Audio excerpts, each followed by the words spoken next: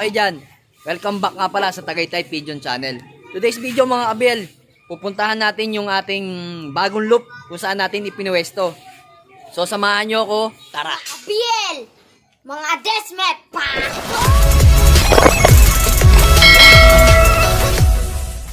Ilalagyan natin ng parang pinaka-stopper. Yan. Ilagyan na lang namin ng ganito. Para siya yung pinaka-stopper para pagka ibababa ko, hindi siya dire-diretso bumaba. Yan. Bumili na lang ako ng ano, dog. Parang dog kitchen. Ayan o. Pantali sa aso.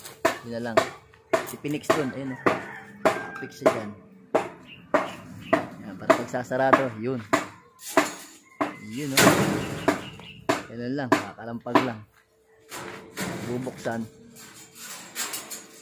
Hilahin lang. Yung saloy, no? Oh, pwede pwede saluhin, no? Yan. Sakto-sakto lang. Diba? Ayos. Mga ka-BL. Yan. Yan mga kabel, ito na ang ating loop. Tapos na tapos na yung loop natin. Ayan o, mga kabel. Ito na, mayroon ng screen tayo. So, ang gagawin na lang natin, medyo mataas sa pwesto ko to. Ito yung lupa, ito yung ating loop, medyo mataas na. So, dito hindi pa tayo nakakagawa ng ano, ng hagdan. So, dito magpapalagay ako ng hagdan dito sa susunod na araw na lang. So ngayon, may ginagawa, may panibagong ginagawa kasi yung aking welder kaya tinapos niya lang muna to tapos pumunta na siya sa kanyang bagong trabaho. Ito iahabol ko na lang dito yung hagdanan ko eh. Kasi medyo mataas kasi siya, tika. Nilagyan na namin ng padlock ayan no. Bale, pintura na lang ang gagawin natin dito para tanggalin muna natin susi. Ayan. So ayan, Tanggalin natin tayo. Lagyan natin muna dito para meron tayong ano. So, eto mga abil, ayan. Eto mga ano natin, ipapaliwanag ko lang sa inyo, mga abil. Ayan. Pagka magre-release tayo, tatanggalin lang natin to. Ayan. Re-release tayo, ayan. Kahit bumaba na yung ganyan. Ayan. Nagpakawala na si Tagaytay Loop. Ayan. Ayan, nagwala na mga ibon. Ayan, pagka nagre-release tayo, ganyan lang. Tapos may butas siya dito. Ayan, oh. Binutasan na lang namin. Op, ayan. Ay, di pala kasya yung isa. so, yan. Ganyan yan. Tapos dito naman tayo sa kabila. Pasensya na, maliit tayo eh. Pinanganak, pinanganak tayo ng maliit, kaya ito naman yan. Yung isa, ganun din. Ganun din yung releasing doon. So, ito naman yung ating pinaka ah, diving board. Yan. Oops, tika lang. Op, ya, oli ka balbuan. Op, ibinaba ko na ang ating ano, yun no. Iyan no. Teka lang. Tataas ulit tayo. so ayan mga abel. Ito mapapansin nyo. Meron na siyang stopper. Siyempre hindi naman natin siya ibabagsak lagi eh. So ayan no. Para nilagyan na lang namin para hindi siya lumaylay. So ito mga abel. Lalagyan ko pa to ng ano. Lalagyan ko pa to ng tawag dito ng screen dito. Tsaka dun sa kabila lalagyan natin yan. Tensya na kayo na medyo nagmerienda kami. Yan. Oh, ganyan lang yan mga abiel. So itong, kung napapansin niyo yung hati na ito at saka to. Ito at saka to. Kaya ito at saka to, uh, wala pa. Hinihintay pa natin yung parating na ano, parating na ah, uh, dito yung trapdoor ko na plastic kung nakikita yung box perch na yan, yan yung nanggaling sa lumang ano natin, loop natin. So, kasyang-kasya naman siya. So, yun, no, niribits na lang namin sa lahat ng ano, kinabit ko na para pwede na tayo mag-viewing ng ibang ibon dito habang ah, uh, hinihintay natin kasi sa 21 pa darating yung trapdoor natin na plastic dito kasi tatlong plastic dito, tatlong plastic na trapdoor dito sa magkabila yan. So, sasaraduhan pa yan. So, kailangan ng hard deflex tsaka bakal para pang cross dyan sa gitna dyan, tapos lalagyan na nga ng trapdoor. So ayan mga abiel, no? ang ganda ng loop na natin. No? So, kung mapapansin nyo mga abiel, uh, bakit ko hindi pa nilalagyan ng tusok-tusok yung taas? Kasi po, uh, nasa ano naman po siya, sa ibabaw po naman siya ng mangga. So pag lumago po yung mangga, hindi makakadapo yung mga ibon natin dyan. So, for the meantime, ang gagawin ko dyan, uh, Pwede naman ako tumas do sa, bub sa bubong kasi meron akong mangga do sa likod. So, pagka lalagyan namin ng tusok-tusok yan, dyan na lang. Pagagawan ko rin naman tusok-tusok yan para siguradong hindi makadapo yung mga ibon natin. Dahil nga sigurado dadapuan nila yan pagka mga bata pa eh. So ayaw naman natin maging pasaway yung mga ibon natin. Pero sigurado tatambayan nila yan. Inihanda ko ng sarili ko dyan sa, dito sa area to. Gagawin ko na ng paraan yan sa susunod na araw. Pero for the meantime, ang pintura muna natin.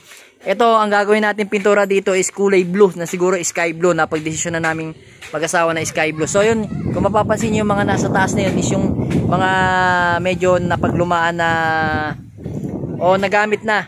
Kaso ano lang naman yun, ah, mga bago pa yun, medyo kalawang lang ng konti, konting tik-tik lang yan. Bagong-bago pa naman yung ano niya eh. Ah, pagkainan nyo, kalawang lang, parang naanohan lang pag pininturahan, wala na yung mga yan. So pasok muna tayo sa loop natin. So kailangan din natin gumamit muna ng upuan kasi masyadong mataas. Yan no. Kailangan natin mataas. Ayan no, hagdan. So ayan mga abel, nandito tayo sa loob. O ayan. Nakita nyo ang ating diving board. Ay, diving board yung ah, back, back spurt. So ngayon pina pinaribits ko na lang dito, pinapasok sa tornilyo, ayan no. Yan, tornilyo. Tapos dito pinatornilyohan na lang natin. Saka dito. So yan no, matibay yan, matibay na matibay ng ano natin, back spurts.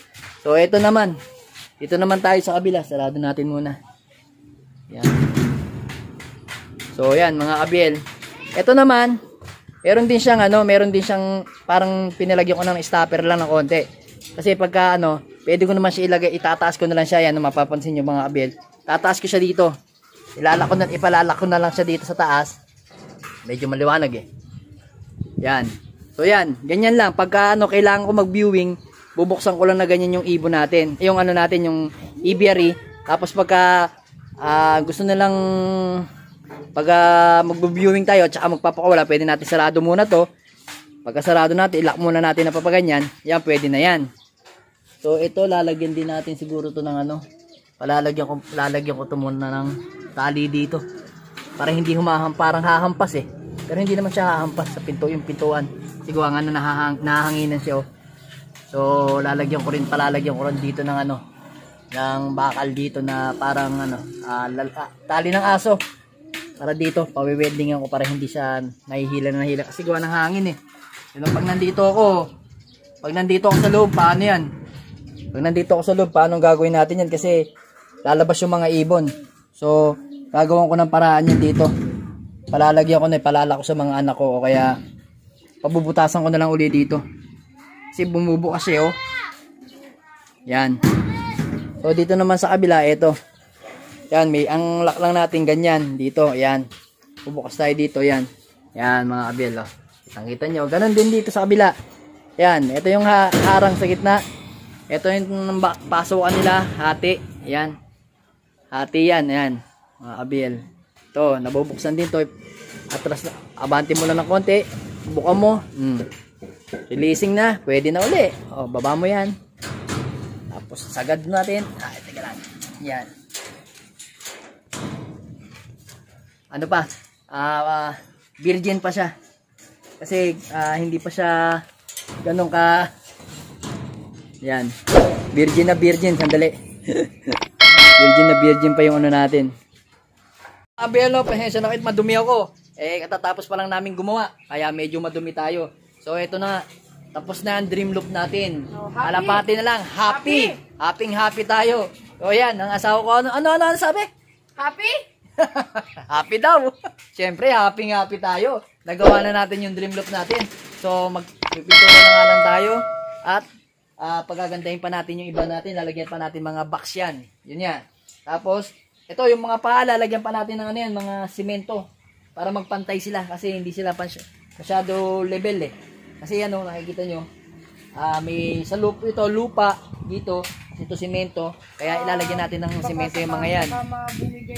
Baka bumigay pa kaya kailangan patibayin na natin habang hindi pa nag-uulan. So ayan mga abelo, hanggang dito na lang ang video ko. Sana ah antabayanan nyo pa yung ibang video natin na para sa pagpipintura naman ng loop natin. So syempre sasamahan ako ng asawa ko dyan. Kasi kami dalawang pipintura dyan para pulido yung pagka-pintura ng aming loop. Pero eto, ah ang gagawin lang namin dito mga abel, pintura ng blue yan. Tapos, yung itong loob, hindi na namin pipinturan, puti na lang yan. Yung labas lang namin pipinturan tsaka itong mga bakal para mas magandang tingnan kasi maaliwalas kasi tingnan yung kulay puti sa loob ng loop eh. Yung blue, sky blue dito na lang sa labas. Mga ABL no, hanggang dito na lang yung video ko.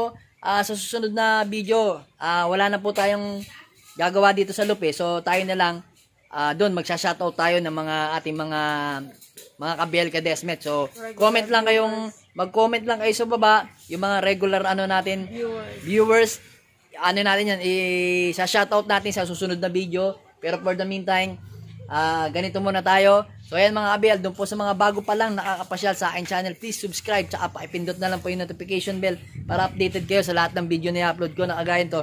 So mga kabiel, kadesmet, maraming maraming salamat sa inyo. Ingat at God bless.